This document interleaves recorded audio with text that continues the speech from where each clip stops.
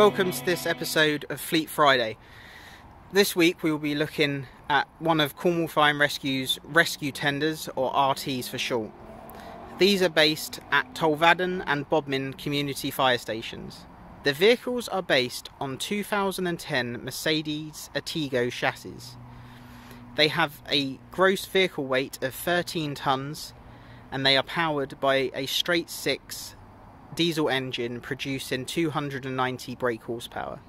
The bodywork on the vehicle was conducted by John Dennis Coach Builders as well as ourselves in engineering workshops. The rescue tenders carry a range of cutting equipment for use at road traffic collisions, um, and so as such, it is mobilised by critical control to um, road uh, road accidents or RTCs uh, that they deem necessary for this vehicle to attend. Because of its enhanced uh, crash rescue capabilities, uh, it's got more tools um, capable of, of, dealing with um, larger vehicles, lorries, uh, uh, and tractors and the likes that we see on the Cornish roads. So, starting off in the cab of the vehicle, I'm sat in the obviously in the driver's uh, seat here. it's a very standard cab on this on this vehicle, but moving on to the left we have a battery master switch, so this isolates all the electrical power to the vehicle when it's not being used uh, to stop the batteries from, from going flat. And a cancel all button, we'll explain a bit more about that in a moment. Moving on across to the officer in charge's position, we can see the mobile data terminal or MDT, the TomTom for where fire control send uh, orders to the vehicle for for the contain directions to the to the incident in question. Above the officer in charge's seat, we can see siren controls as well as the main scheme radio. So now moving across to above the driver's position, we can see the uh, the blue light control panel. If you've watched our video on the uh, aerial ladder platform, this control panel will look very familiar to you.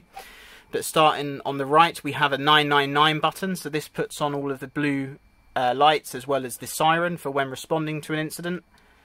The AAS or attendance at scene button. So this uh, turns the siren off as well as some of the blue lighting uh, on the grille, but still um, has the roof bar illuminated as well as the rear and side blues.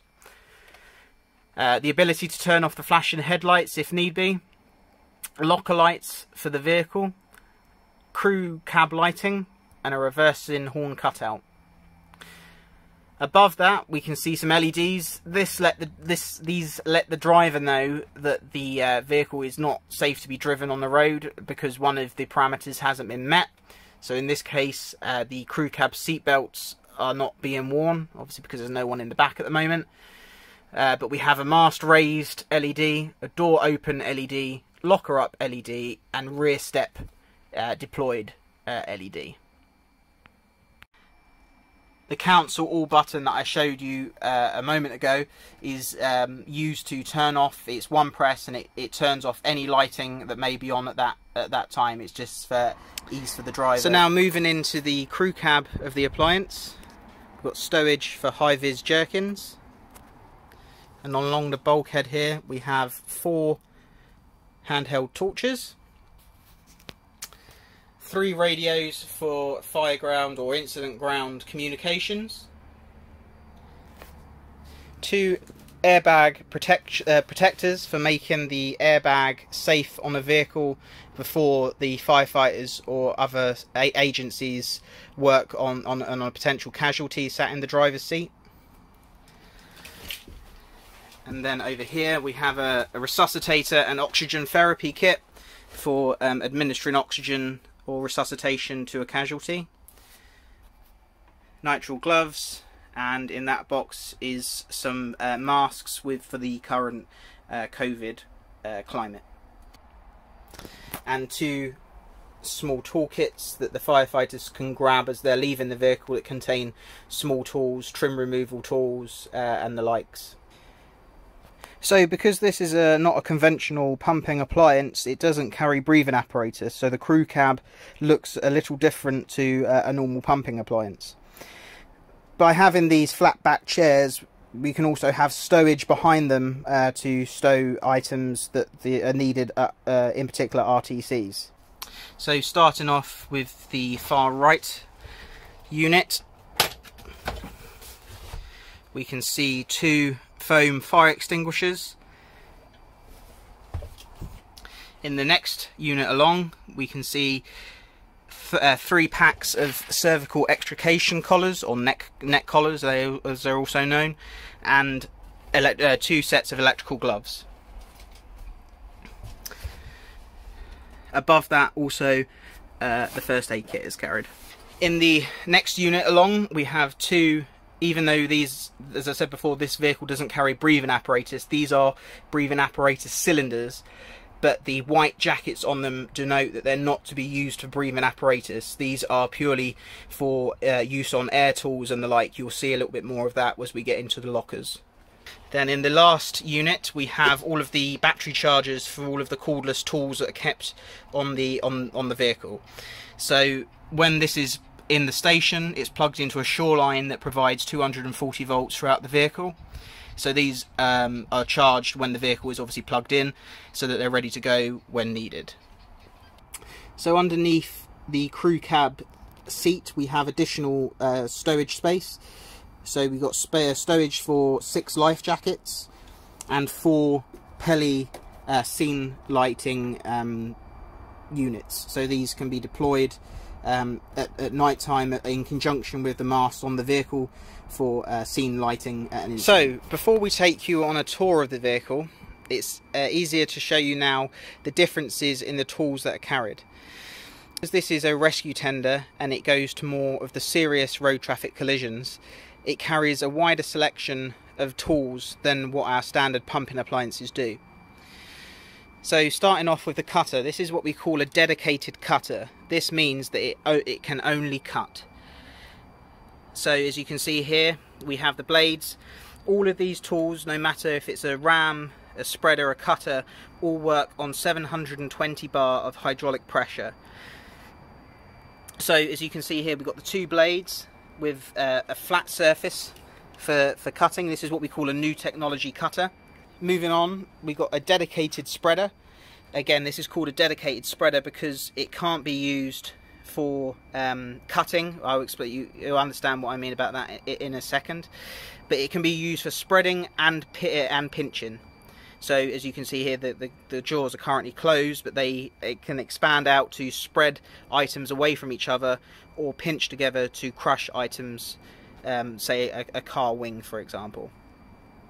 Moving on, this is now what we call a combi tool. So whereas I referred to the other ones as dedicated spreaders and dedicated cutters, this is a combi tool. So it can actually cut and spread. So as you can see here on the side of the blades, we've got these serrations. So this can be used for, for gripping onto metal, metal when spreading. And the teeth here. Um, so uh, that's obviously the cutting surface. So we've got a combi tool, dedicated spreader, dedicated cutter. And now onto the ram. A telescopic ram. So on this model here the the ram will extend out of this uh, end of uh, end of the unit. Um, and obviously the control handle there. so starting off with the offside front locker of the uh, of the appliance we have got a toolkit carried in the blue carry case three lots of socket sets in the red cases behind, MoFlash scene safety lamps, and 3 ton strops and shackles. In the first pull-out tray above, we have a Tirfor winch, base plate, and what we call the Holmatro Extendo ram. So this is a special ram uh, that can be deployed quickly and it's got a special ratchet mechanism in it that creates the uh, spans the distance of say a, a, a, between a dashboard and the uh, B pillar of a car very quickly. In the next pull-out tray above we have a pair of bolt croppers, picket bars for use in the base plate below, another socket set, casualty protection equipment, so that comprises of safety spectacles and uh, masks. Behind that is Damit uh, quick sealant paste for use on uh, a, barrel, say that may be leaking. It's like a clay substance uh, that can be used to, to seal it in a, in a drum, for instance. And the Tirfor handle. In the next slide out tray above that, we have a sledgehammer, a prying bar, and the two hoses for use with the airbags. In the final pull-out tray above that, we have another two hoses for the airbag system behind and the control boxes for the high pressure and low pressure airbags. So now moving on to the airbags that are carried on the vehicle, we carry a range of high pressure, which are the thinner black airbags, and low pressure airbags, which are stored in the orange valise. So these two airbags here are rated at being able to lift 33 tons and these two bigger ones here are rated at being able to lift 68 tons. We also carry uh, some matting here that's used to lay over the ground uh, to protect the airbags before the lift commences. Moving on down beneath the airbags we can start to see the range of tools, uh, the, the crash rescue tools that are carried on this vehicle.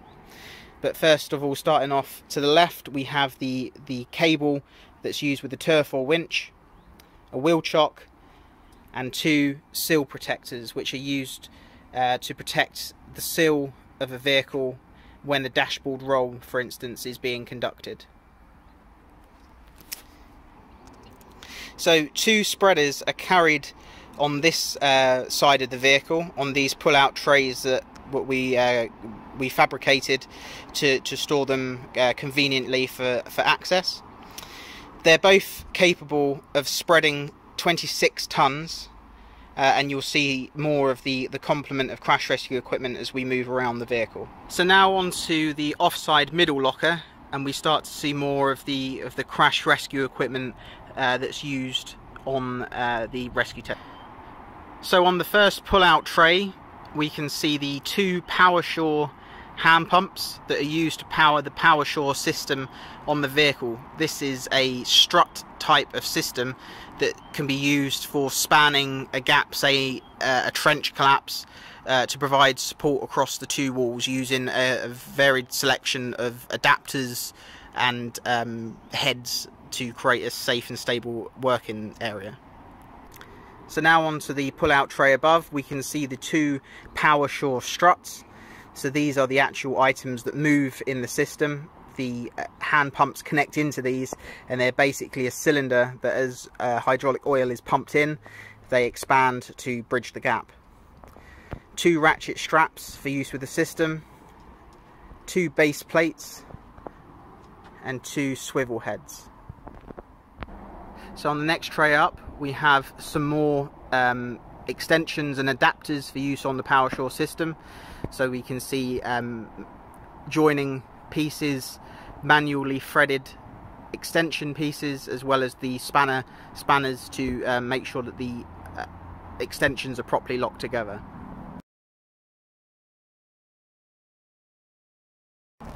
Above that a spinal board is also carried complete with the head restraint blocks. So moving on to the next pull-out tray, we can see two rams, three ram extensions, another base plate, a swivel foot adapter, and a rim lifting adapter. This adapter fits in the rim of a wheel to create a lifting surface for if, uh, say, a person was trapped underneath a wheel or an axle of a vehicle, it can be used uh, in conjunction with a ram or to, to lift the uh, axle or a wheel off of a casualty. In the next tray up, we have cribbing and blocks and wedges. And on the final pull-out tr uh, uh, tray of this locker, We've got even more blocks and wedges. So now on cribbing. to the offside rear locker. As you can see, this is a smaller locker than, than the, the, the previous lockers. That's because it stores one of the uh, crash rescue pumps. So this is made by Holmatro. and it's called a duo pump because it has two outlets. So that means that two tools can be run off of one pump. It's a petrol driven um, engined uh, pump and they produce 720 bar of hydraulic pressure and these can operate all of the uh, crash rescue equipment on, on the vehicle. Above the uh, crash rescue pump is what we call the work platforms. So these uh, were built on a bespoke pull-out tray. Uh, this can be deployed from either side of the vehicle depending on uh, a safe area of work if the vehicle is in a fend-off position. Um, it carries two of these working platforms. Uh, these, when when they're up, look like this. So that was the working platforms. You can actually adjust the legs on them to create a, uh, a higher working level for if, uh, say, on, on, a, on a tractor unit of, of a lorry, uh, the firefighters need to gain access to the windscreen. They can put it in front of the vehicle uh, to create a safe platform of work for them to be able to uh, to, to release. So now the, at the back the of the rescue tender, uh, we have two barn doors to go into the into the rear locker where the work platforms are stored as well as a deployable step at the back for easy access. Uh, we've also got hand uh, cleaner and hand sanitizer in the back So now well. moving on to the near side rear locker. This is just a copy of the offside rear locker. So as we can see, we've got another Holmatro Duo pump uh, in this locker as well as the other side of the working platform so as I said before these can actually deployed off of this side whatever situation the vehicle may be in. Now moving on to the near side middle locker. This locker contains, so in this pull-out tray we have more blocks and wedges and more cribbing. Obviously the main role of this vehicle being the rescue tender is uh, road traffic collisions. So there is a lot of cribbing and blocks and wedges carried on this vehicle because of the because of the nature of the of the vehicle it goes to the to the more serious road traffic collisions where where greater amount of equipment may be required. So the next pull-out sliding tray above above the previous one contains the two-stroke Stihl circular saw and spare uh, two-stroke fuel. And then above that we have the winching equipment box. Um, so the vehicle is fitted with a two-ton direct line pull winch uh, mounted at the front of the vehicle and this is the uh, winching equipment that's uh, used to operate that. So we can see the control box there, some strops, and a snatch block.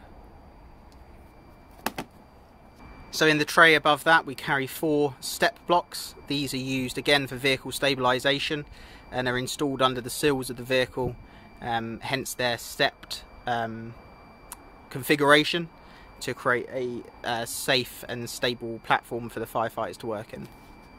So in this pull-out tray is where the rest of the rams are stored on the vehicle. So we have a variety of different lengths of rams. Um, so as you can see here we have a, a, a, smaller smaller ram for tighter access areas. This one here is a double acting ram. So on this one only this end will extend extend out. On this one both ends extend out at the same time. So again, for maybe a bigger span uh, that's uh, needed to be to be spanned on the vehicle. And also here we carry another two extensions for the ram. So these these heads actually come off, and these extension pieces can be inserted. In this pull-out tray, we can see a pedal cutter. So again, this has its own hand pump and the blade part here that will actually cut through uh, the uh, a, a, brake pedal or clutch pedal, throttle pedal, whatever pedal may be um, trapping the casualty. A cordless angle grinder, and above that two reciprocating cordless saws. And then in this box here is the rip saw kit, so this carries spare blades uh, and, and, the likes for, for all of the uh, reciprocating saws. So onto the last sliding pull-out tray on the vehicle, we can see the casualty protection shields. So we carry three of what we call the teardropped configuration, which are the which are the blue ones here, and then another three heavy-duty rubberized plastic ones below with uh, straps that can actually be um, strapped onto an area of the vehicle if need be. Also what we carry is two sharps kits.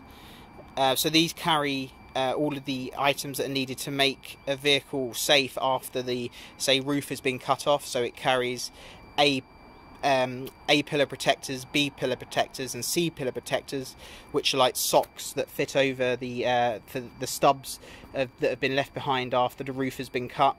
Um, so it protects anyone still working around the vehicle from, from the sharp edges. So now onto the near side front locker of the appliance. This is where all of the uh, cutters are kept as well as the remaining spreaders and the uh, hoses so we'll show you a bit more of that now.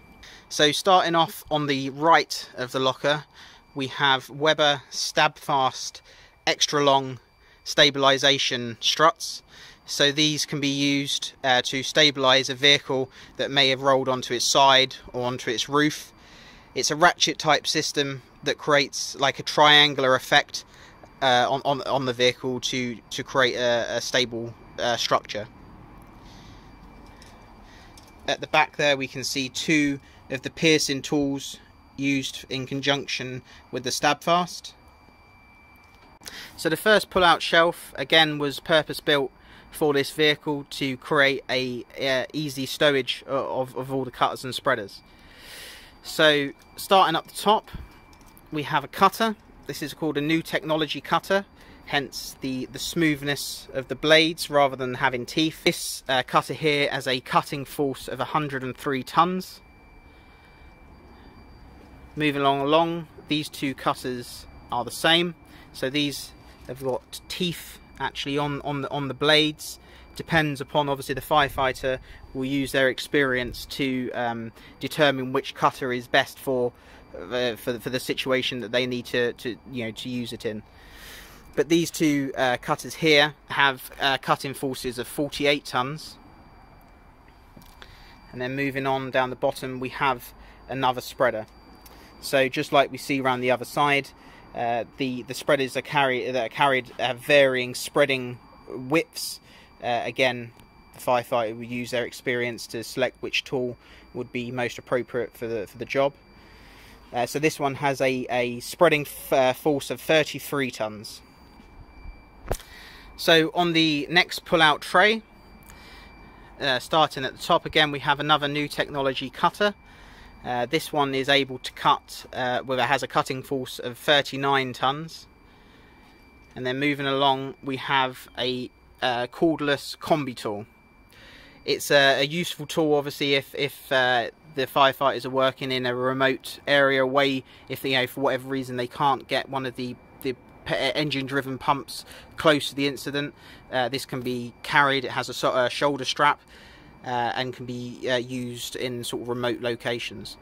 So this has a um, spreading force of 2.7 tons and a cutting force of 4.7 tons.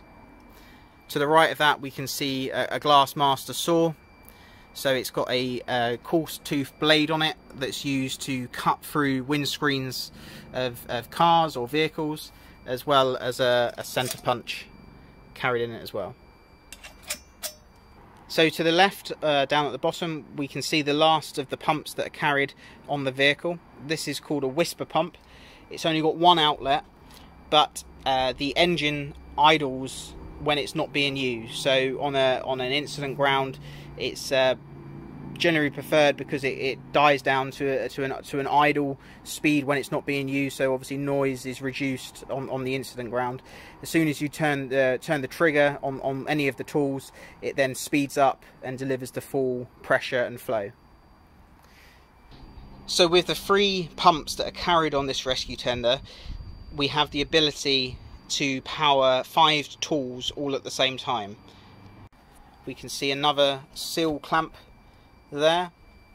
A roll of Pack-Ax Smash, which is like a, a film that can be applied over um, a windscreen to aid with the cutting or glass management.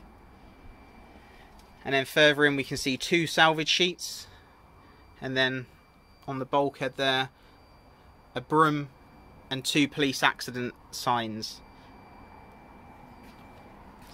On the back of the uh, shelves is where we carry all of the hoses. So these are the hoses that provide the hydraulic oil between the pump and the tool.